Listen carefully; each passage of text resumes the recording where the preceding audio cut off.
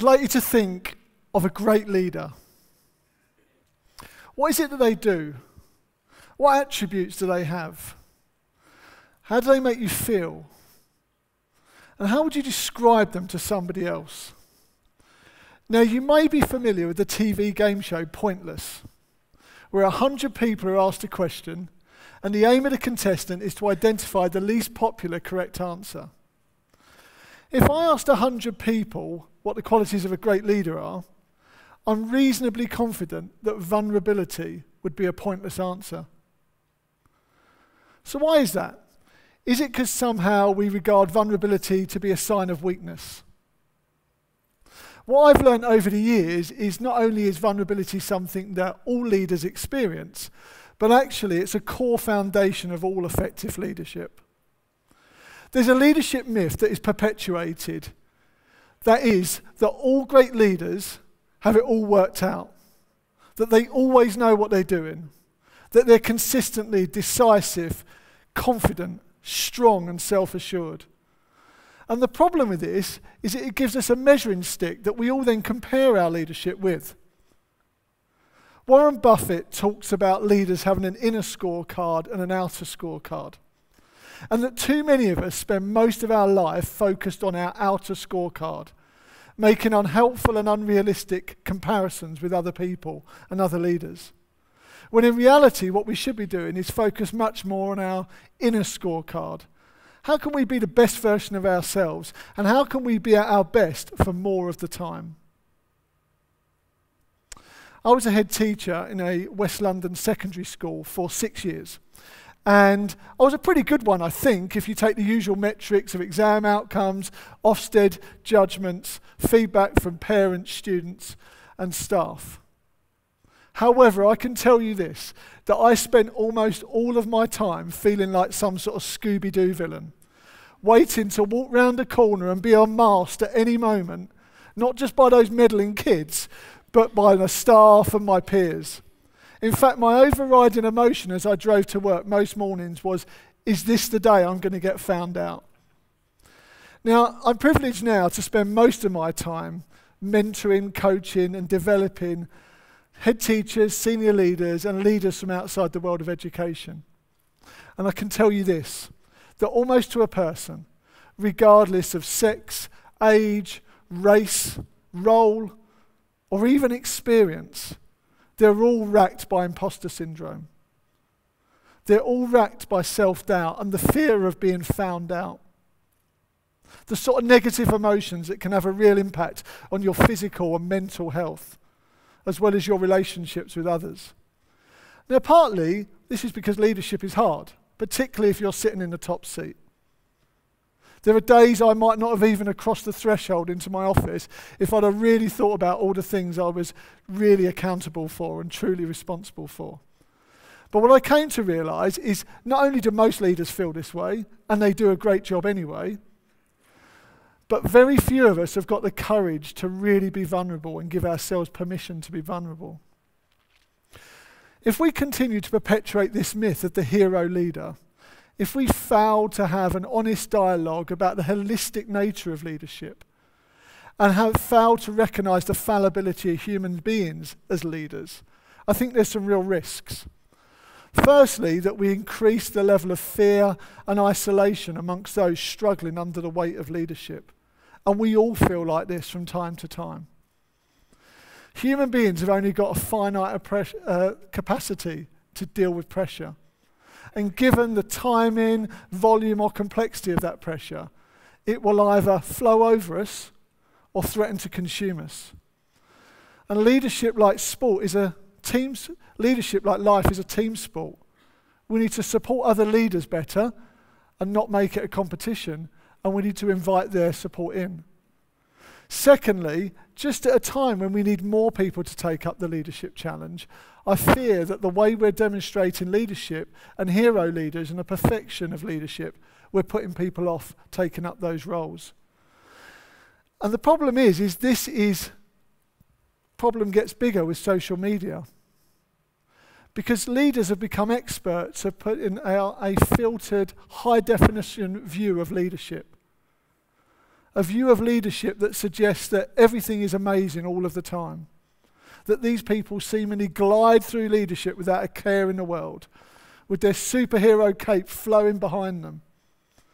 It's unhelpful, it's unrealistic, and it's utter nonsense. Leadership is hard.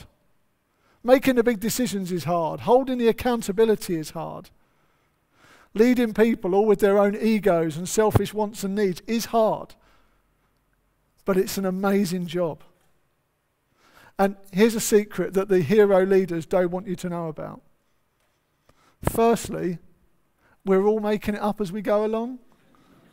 And secondly, it is eminently doable for mere mortals like you and me. I wrote a blog in 2018 called Permission to be Vulnerable, and it received a really nice response, a really positive response. And it made me realize not only was I not the only person feeling this way, but actually, high performance leaders regularly demonstrate their vulnerability. Let's explore two in very different contexts. Satya Nadella, CEO of Microsoft, one of the world's biggest brands. And secondly, Dany Cotton, the first female commissioner of the London Fire Brigade in its 150 year history. When Satya Nadella took over from Steve Ballmer as CEO, he set about fundamentally changing the culture of Microsoft. No longer was it important to prove you were the most important person in the room, the smartest person in the room.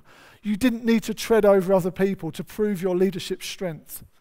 In fact, Nadella gave his leaders permission to take more risks, to be more vulnerable, to not be afraid of failure, to ask naive questions, and to collaborate more, not just with other leaders, but with competitors as well.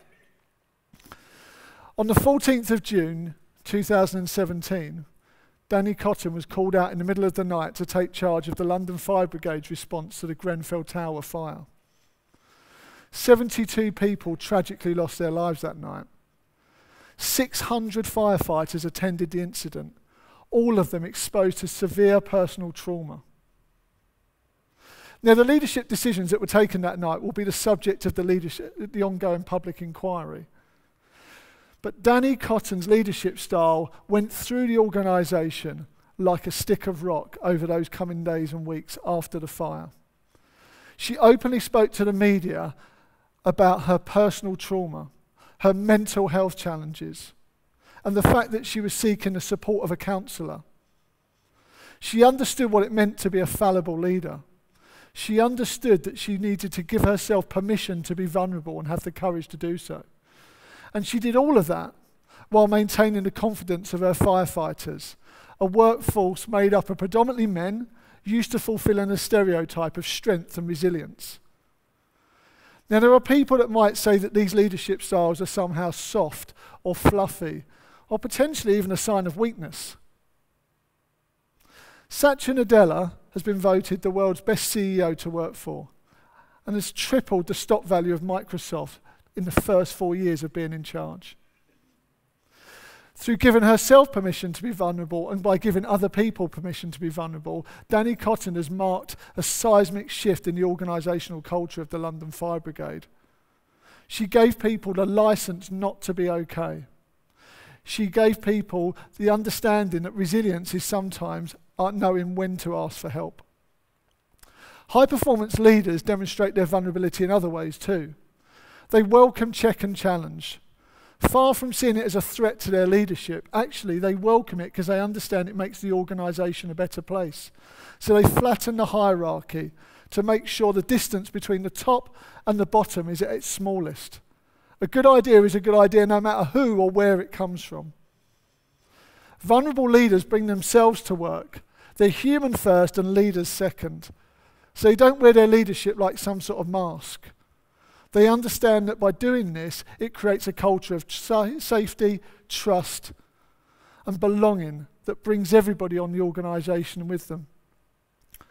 You won't find vulnerable leaders telling people how much they do know. In fact, you'll find them more often telling everybody how much they don't know. They're fully aware of their failings. They're fully aware of the need to bring in people that may be better than they are and to build diverse teams to make the organisation better. And vulnerable leaders don't feel the need to climb over other people to prove their leadership strength. In a world that maybe increasingly asks us to be more isolationist, protectionist, to pull up the drawbridge and focus on me rather than we, vulnerable leaders push back against that because they know that through collaboration, through sharing knowledge around the system, not only does the system benefit, but their organisation benefits and they benefit as leaders. So, how can we encourage more people to be vulnerable in leadership? Let me just leave you with three things by way of a provocation. Firstly, we need to let the mask drop. We need to stop presenting a high definition view of leadership filtered out to the world.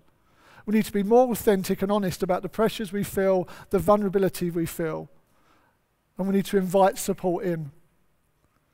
We need to demonstrate more situational humility. In a complex world, it is neither reasonable nor possible for any one leader to have all the answers to a problem. So, what we need to do is create a, a, a climate and a culture where people can bring their ideas to the table, that people can feel safe doing that in a low threat environment, and they know their ideas are going to be included. And finally, we need to make sure that leaders take more risks. Brene Brown talks about choosing courage over comfort. Taking more risks means the likelihood of failure increases, and hero leaders are not happy with that place. But vulnerable leaders are, because they know that that's where the creativity happens, that's where the innovation happens, that's where the answer to the world's stubborn problems happen when we take more risks. So let's change the narrative around leadership. Let's look again at leadership. Vulnerability is something that all leaders experience. It's normal, and it's okay. But the best leaders are authentic about it, they're honest about it, and they actually use it to their benefit to make them even better leaders. So far from being leadership kryptonite, vulnerability becomes their superpower. Thank you very much.